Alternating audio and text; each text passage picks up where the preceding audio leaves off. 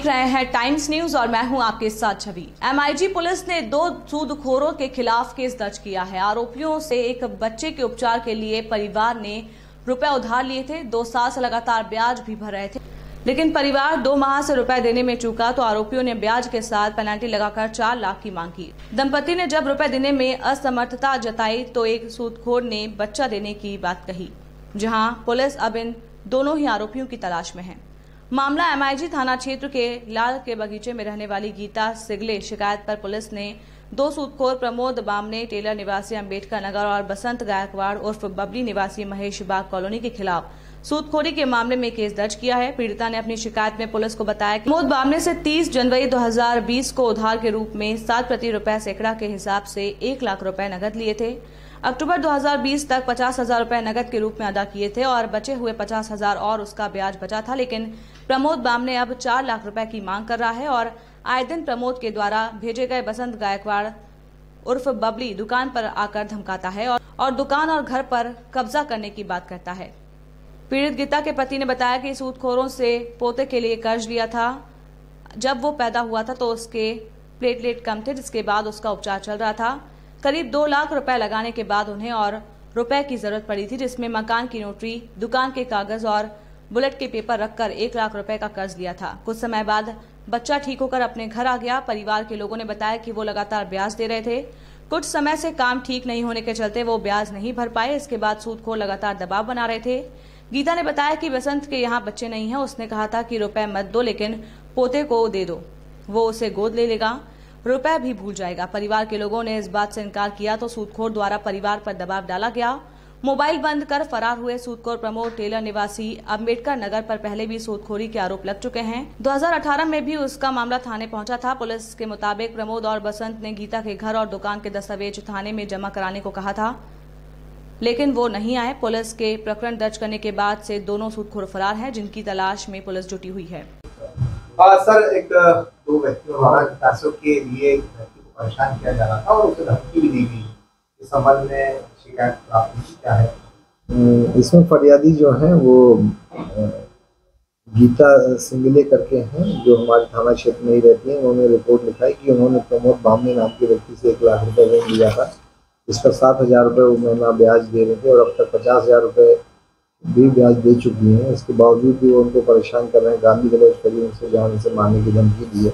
इस संदर्भ में थाना एमआईजी में जो है दो सौ चौरानवे पाँच सौ चौंतीस तथा मध्य प्रदेश ऋण ऋणियों का संरक्षण अधिनियम उन्नीस सौ सैंतीस की धारा तीन और चार लगा करके उनके विरुद्ध कार्रवाई की गई है और अपना पंजीबद्ध किया? इसमें एक ही आरोपी है।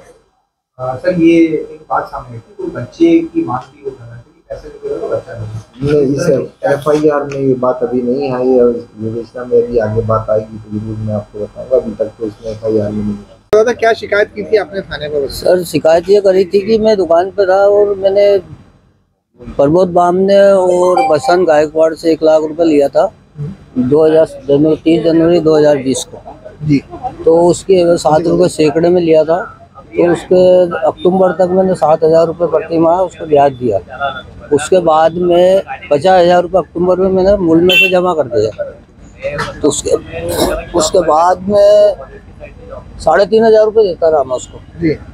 तो ये जनवरी 2022 तक देता रहा मैं ठीक है फिर?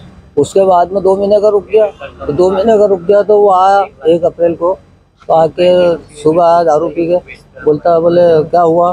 मतलब आएगा बोले पैसों का मैंने बोला दे दूँगा ना भैया आ जान तो मेरे पास तो बोले नहीं बोल फिर दारू पी का फिर गाली गुप्ता करा।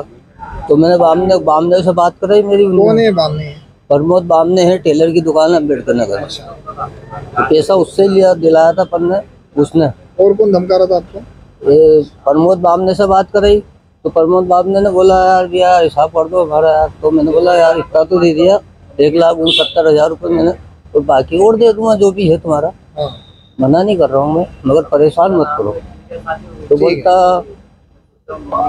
देना तो बोले अब भी हाल ही दो वो फिर आया दारू पी के। तो फिर मैंने आवेदन लगाया थाने पे। तो आवेदन दिया तो उनको गिरफ़्तार करा गया। गिरफ़्तार किया बुलाया गया। तो बुलाया तो उनने बोला उनने बोला मैंने तो मकान खरीदा। तो मैंने एक लाख के एवज में मेरे मकान की लॉटरी दो स्टाम्प पत्नी के दो फ़ोटो हाँ। और उसका क्या नाम? एक मेरी बुलेट गाड़ी है उसका रजिस्ट्रेशन ये दिए थे उसको ये सब गिरवी रखे थे गिरवा रखी थी। अच्छा ये फिर ये, ये कौन है गैंगस्टर जिसका नाम ले रहा था ये? ये तो वो तो ऐसे ही बोले मैं बंसी प्रेस की चाल से मेरा ससुराल है। मैं ऐसा कर दूँगा वैसा कर दूँगा ऐसा बोल रहा था वो। किसका नाम ले रहा था वो? नाम नहीं से नाम बता रहा था ऐसा। किसका बता रहा था अब वो नाम वाम तो नहीं ऐसे ही बता शिकायत है ऐसा ही नाम नहीं बसंत गायकवाड़ तो फिर इतनी बात हुई फिर मैंने वो थाने पर आया थाने पे आके उन्होंने और बिठाया उनको तो बातचीत करी बोले किससे दे बोले मेरे पैसे। फिर बोले किसके सामने दिए? बोले बस उसके प्रमोद बामने के सामने। तो प्रमोद बामने को बुलाया तो उनने पूछा साहब ने बोले ये दोनों को जानते हो प्रमोद बामने को अंदर कर दिया था उनने। तो बोले कि नहीं मैं इनको नहीं जानता। अच्छा ये बताओ ये बच्चे वाली क्या बात है? बच्चे वाली ये थी सर उसके लड़का लड़का नहीं था। बसंत गायकवाड़ का। हाँ तो वो छह महीने से मेरे पीछे पड़ा हुआ था। क्या? मेरी क्या बहु शांत हो गई थी। और लड़के के लिए मैंने पैसा लिया था उससे इलाज के लिए। हाँ। तो बोले अगर तुम पैसा नहीं दे रहे हो। बोले यार एक काम करो लड़के को हमको दे दो। अच्छा। और तुम्हारे को दो चार लाख रुपए और दे देता हूँ मैं। कितना बड़ा बच्चा है? दो साल का लड़का। क्या नाम? वंश। अच्छा। पोता है मेरा। अच्छा। लड़के का लड़का।